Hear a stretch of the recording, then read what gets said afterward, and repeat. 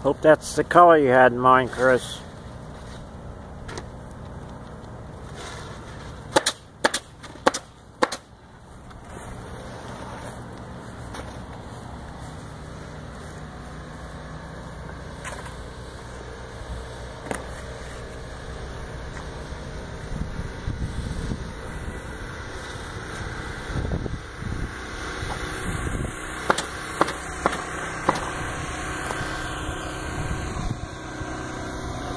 So it, it ended up with like a 13 inch overhang, but uh, at the bottom, the sides are 16, but then what, like he said, once we put the 5 inch gutter on there, it'll pretty much look even. I think it's good.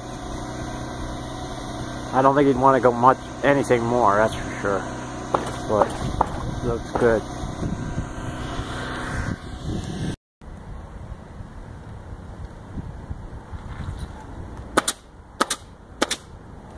Well, we got real power here now, which is good.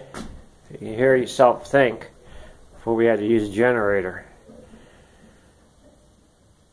Thanks to Pappy.